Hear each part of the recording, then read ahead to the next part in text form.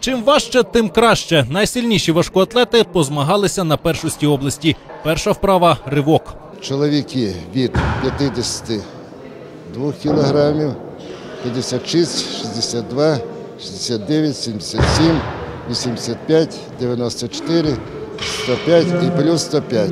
Всі ці категорії, у нас маленькі категорії сьогодні, слабенькі, так що там буде менше виступати, а в тих середніх вагових категоріях буде виступати більше.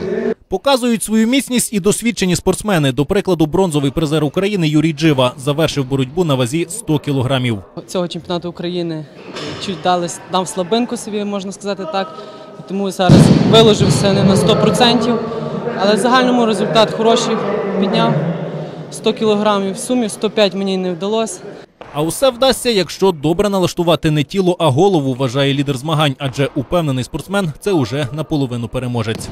Це не тільки сила, це більше психологічно. Треба себе підготувати до того, що спортсмен підходить до, до певної ваги.